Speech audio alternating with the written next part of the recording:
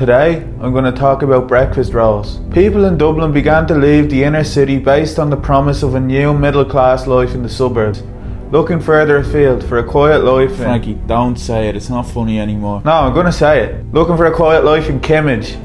As a result of this urban decay, people were commuting longer distances, so a huge amount of their time was spent in cars, listening to the Adrian Kennedy phone show in a desperate attempt to avoid being alone with their own terrifying thoughts. The car itself became an experience of the everyday worker.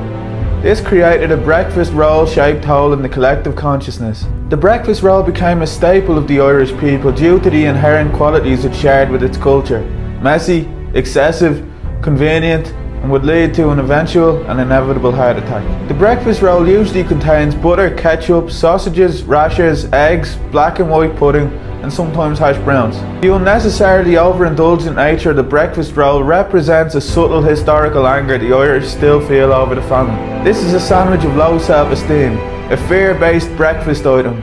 We'll eat now in case we never get to eat again. This breakfast option is trying to show the world how far we've come since we were colonised.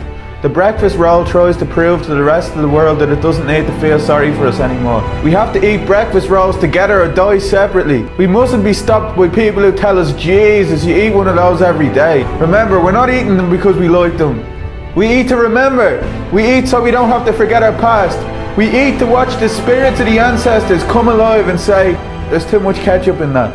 Weaponize the breakfast roll and use it as a symbol of Irish freedom like our forefathers intended. We need to awaken ourselves to the true power of the breakfast roll.